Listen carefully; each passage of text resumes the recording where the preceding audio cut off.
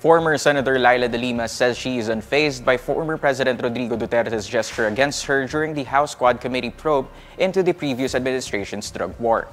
In a social media post, De Lima says she is unbothered by what she describes as Duterte's violent gesture against her at the House Quad Committee hearing on Wednesday, November 13.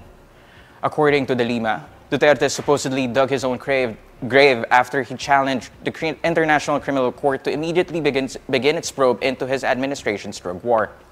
De Lima also welcomes Malacanang's pronouncement that the Philippine government will not stand in Duterte's way should he surrender himself to the ICC.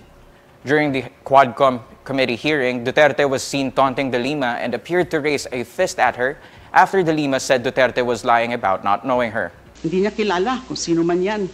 yung taga-CHR na yan. Nagtataka po ako doon. He's lying when he said that he does not know Laila de Lima. Iba na kasi ang hirdo niya kasi hindi mo kilala.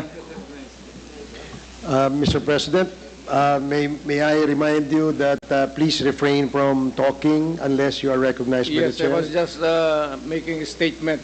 Yeah, I'm Hindi ko just, siya nakilala, iba ng hirdo niya eh. I'm just reminding the, the resource person. So, the next to interpolate Duterte made his first appearance on Wednesday at the House Quad Committee probe into the alleged extrajudicial killings during his administration's anti-drug campaign. De Lima has been a longtime critic of Duterte and his human rights record back when she was still Commission on Human Rights Chair and he was Davao City Mayor. De Lima spent seven years in jail on drug charges initiated by the Duterte administration.